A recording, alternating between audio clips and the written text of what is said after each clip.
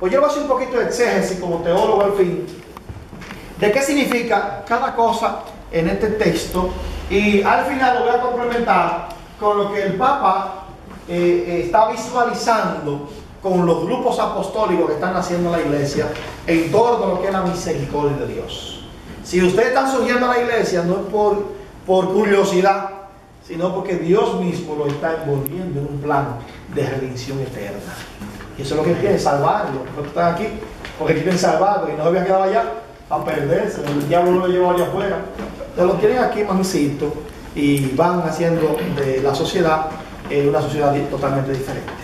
Eh, una Biblia, una Biblia, ¿dónde está? ¿Dónde está Ángel? ¿Dónde está la Biblia? Ah, búscame el texto y una vez dice, wow, búscame el texto. Va a ser asistente de padre. Aunque lo diga medio de broma, pero lo que voy a decir esta noche todo de verdad. ¿Sí? Búsqueme, eh, vamos a ver la primera parte, la primera parte. Eh, antes de Fíjense, el, el, texto se divide en tres partes. Emmaús es lo primero. Emmaús es una escuela. Y donde hay escuela, siempre hay un maestro, por venerar, y unos discípulos. El maestro de esa escuela se llama quién? Jesús. Y los discípulos somos nosotros. nosotros. ¿Eh? Es una escuela que tiene tres dimensiones. Tres dimensiones. La dimensión de la palabra, que lo vamos a leer, lo que yo voy a decir está aquí, no un invento, yo no estoy inventando. Tampoco una catequesis, como dice, ah, pero el padre qué bonita le salió esa prédica, no, no una prédica. Es un curso taller que yo lo he dado en otra parte, ya es un exceso en torno a eso. La primera parte de esta escuela es una parte exegética. ¿Qué significa exegética? De interpretación y de conocimiento de la palabra de Dios. Por eso, Emmaús, uno de los puntos fuertes de Emmaús es formar, después que vienen de retiro, formar. Que es lo que ustedes hacen aquí. Comparten y se forman. Yo voy explicando medio rapidito. Eh, la formación. Y por eso ustedes ven en la lectura que Jesucristo le iba explicando las Sagradas Escrituras. Me va explicando las Sagradas Escrituras. Es decir, eh, uno de los elementos fundamentales de un discípulo de Maús es conocer que las Sagradas Escrituras. Segundo, el segundo paso de la escuela de Maús, en la que usted y yo somos discípulos, es la parte sacramental la parte del banquete. Por eso que a ustedes, cuando estamos en la reunión, se nos pide que obligatoriamente, compa, así ah, ya. sí. podamos compartir una galletita, una yaboa, un componente. Lo importante es enseñar que la vida es un ágape. ¿eh?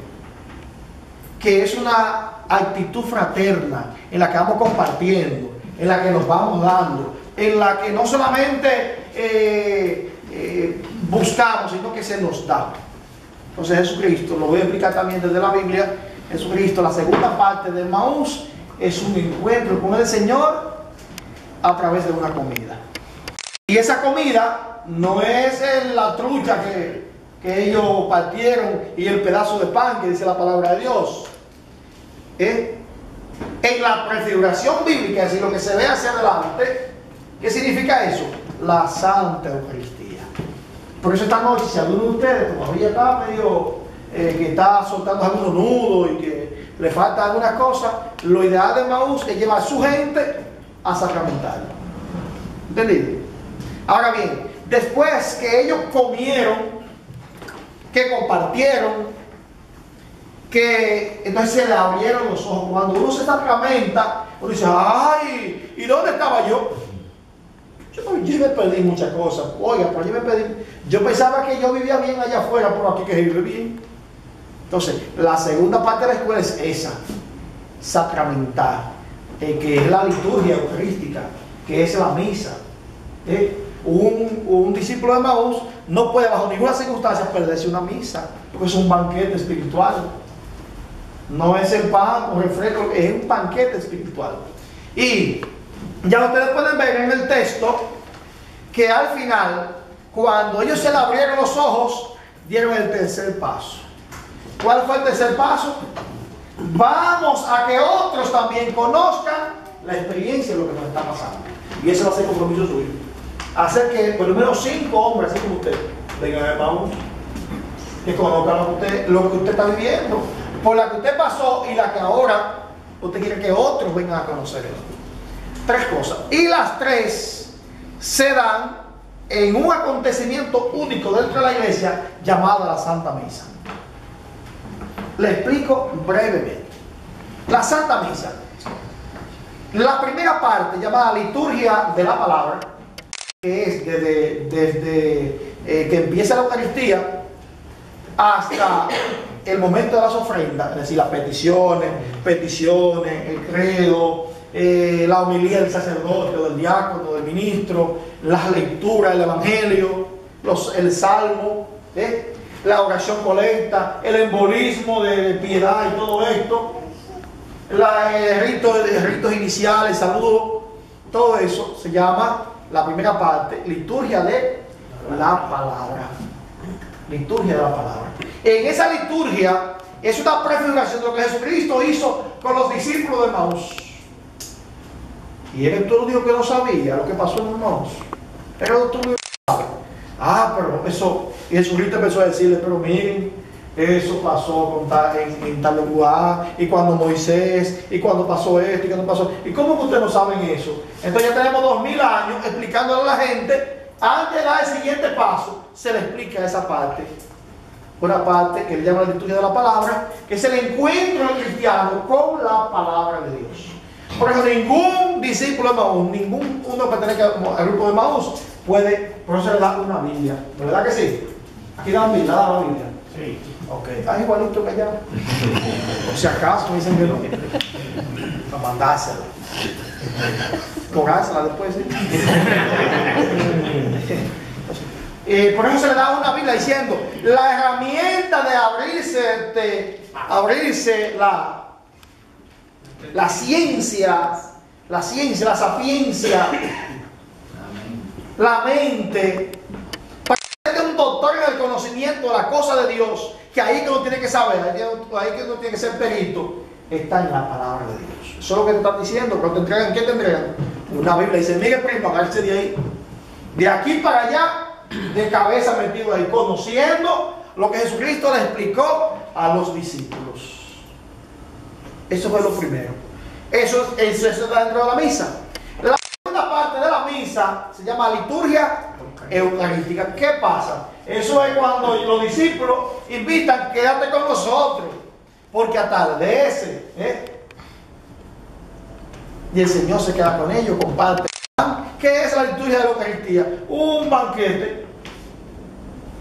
Y usted, usted da cuenta que se habla mucho de banquete en, el, grupo de Maus. Se habla de banquete. Es un banquete.